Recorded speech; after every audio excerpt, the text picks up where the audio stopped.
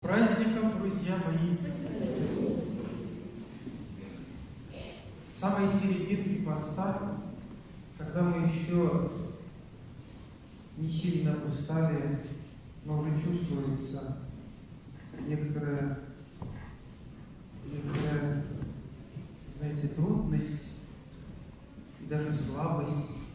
Многие люди ее ощущают. Нам в утешении выносится крест Господень. Средопостная неделя, самая середина поста, это есть время еще и клонение кресту. И поскольку сам пост есть время размышлений, богомыслия, то главная тема этой недели – это созерцание Христа Господня. Того знака, на который мы с трудом поднимаем наши глаза. Потому что страшно, потому что стыдно. Все вместе. Ведь крест – это символ мужества перед неизбежным. Хотя мы говорим, что у меня уже крест. Например, мои родственники, или моя болезнь, или моя страна, или моя работа, или те обстоятельства, которые меня окружают. Крест.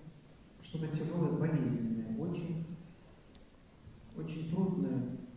То есть какая-то работа, причем неизбежная.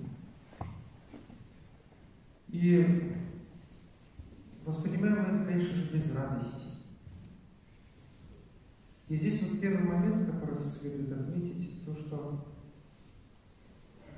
Евангелие Слово Божие нам говорит, что с неизбежным нужно встречаться с мужеством. Есть вещи, которые мы никак не можем обойти.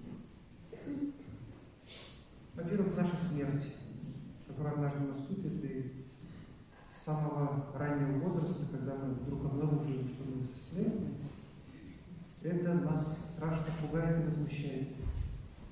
Еще больше пугает то, что Смертны не только мы, а смертны те люди, которые рядом с нами.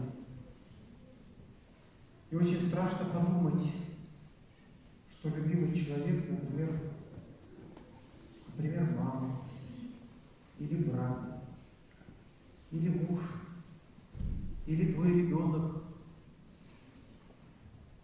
что он умрет, и мне надо будет через это пройти. Но ведь это неизбежные вещи. И как бы мы от них не прятались, все равно однажды, рано или поздно, это событие потребует от нас всего нашего самого последнего мужества. И поэтому мудрый человек неизбежному относится спокойно. Проходит через этот период своей жизни с достоинством, и то, чему нам надо, конечно, поучиться у наших предков, то, как они с достоинством переносили страдания, с достоинством болели, с достоинством теряли близких, с достоинством умирали. Спокойно, величественно, большим мужеством, без истерик ненужных, без ненужной суеты. Потому что есть вещи, вещи неизбежные. Просто неизбежные. Конечно, это не говорит о том, что мы должны искать каких-то страданий, стараться где-нибудь пострадать. Нет, вовсе это не так. Но встает второй вопрос, если, конечно же, да, мы должны встретиться лицом к лицу с этим неизбежным. Например, похоронить родителей. Кому-то похоронить супруга или супругу. Потому что, когда вы вступаете в брак, это значит, что кто-то из вас умрет первый. А кому-то на веку э, придется даже хранить собственного ребенка. Бывает и такое.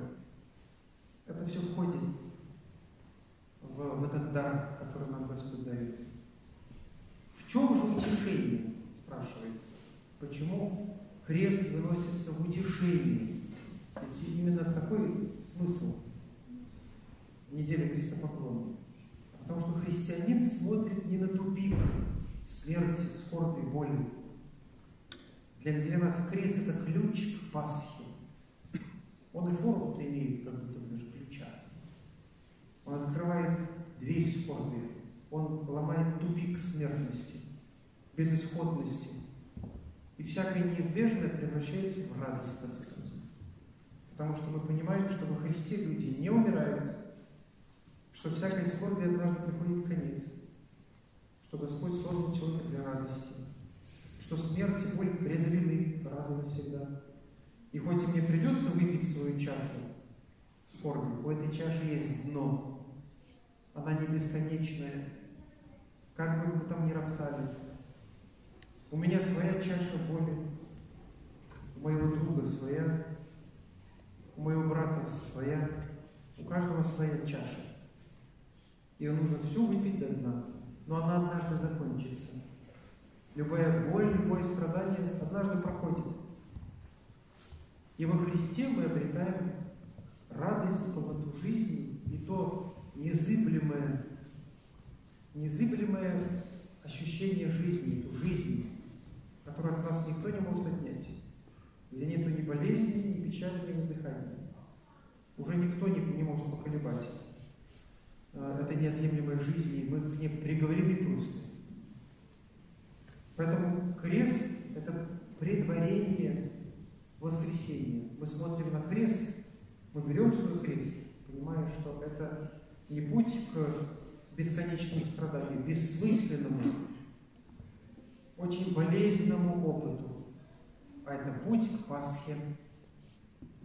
И крест для нас – это знак Пасхи, не хмурого, мрачного, бесконечного страдания, а того пути, через который нужно пройти, чтобы достичь Пасхи, жизни не старений, как хорошо сказано по-славянски. Там уже старости не будет. Никто не скажет, что я уже не молодой человек, далеко. Никакие болезни мне не будут угрожать. Пей воду хоть слушай. Ничего тебя не не, не, не заденет. Если там, конечно, в раю тоже есть, я думаю, есть, потому что ребенок, а мы там все, наверное, будем в состоянии предельной, а, предельного здоровья, которое есть только у детей, ребенок не может обходиться без луж. И думаю, многие из нас захотят в раю скакать по лужам под дождем. Я, например, на это очень рассчитываю. И этой радости от нас никто не отнимет. Но чашу, которую нам положено выпить, выпьем. Еще раз подчеркну, с достоинством, с мужеством, спокойно, перенося ту боль, которую, да, нельзя миновать. Нельзя миновать. От нее не надо прятаться, но ее не надо искать. И мы должны еще понимать, что нас Господь не к благополучию призвал. Каждого из нас своя история. Каждый из нас должен вынести тот крест, который он предначертан. Вот 22 марта, в день 40 мучеников Севастийских, в 1943 году была сожжена деревня Хаты. 149 человек было сожжено среди них, больше половины детей. Спрашивается, ну почему так? За что им такое? Несколько человек только из деток были спасены с ожогами. Одна девочка была спасена, как как-то на нее упала мама. Маму полоснули из э, автомата. И мама упала, думали, что и девочка погибла. И когда фашисты ушли, хотя на самом деле сжигали не немцы, а наши предатели сжигали, полицаи наши. Пришли родственники из соседней деревни, и девочку эту спасли. Она была в ожогах, ее отвезли в эту деревню, лечили, и через неделю каратели пришли в эту деревню и сожгли эту деревню, и девочка там Но как же он думал, как же это так? Вот только детенка спасли, тут надо, надо было дважды и сгореть. А потому что такая вот у нее судьба? Вот у нее такой крест в этой семье. И мы не понимаем, почему, как, откуда, из каких далеких столетий судьба проговаривалась. Что тут, с чем это связано? Конечно, есть мудрые люди, старцы, прозорливые, которые знают, почему, из-за чего или для чего дается именно мне выпить именно эту чашу скорби. Но мы, простые люди, не должны, наверное, дерзать, даже пытаться расшифровать все эти пути и судьбы и неизбежно принимать с мужеством и с доверием к Богу. С доверием к Богу. Потому что мы, мы люди слепые, мы не, не можем, не умеем видеть далеко. Видеть только совсем чуть-чуть, и поэтому раз нам Господь доверил через это пройти, ну что ж, пройдем спокойно, с мужеством, как это наши предки проходили. С достоинством. Понимаете? Мы совсем забыли, что и жить надо с достоинством, и болеть нужно с достоинством, и через скорби проходить с достоинством, и умирать с достоинством, без суеты лишней, без унизительных вымаливаний, выпрашиваний себе каких-то отсрочек. Спокойно, спокойно, без достоинства, потому что только перед очами Божьим мы можем это достоинство в себе сохранить. Поэтому, как хотелось бы, чтобы крест или знак креста как утешение дошел до, до самого сердца. Чтобы цель, которую преследовали наши старцы, положившие в этот день выносить крест Господень, она была достигнута. Чтобы крест нас не пугал, вызывал даже радостное доверие Господу за то, что Он мне счел возможным доверить пройти через эту скорбь. Не только мне, но и моим друзьям, моим близким, моим детям.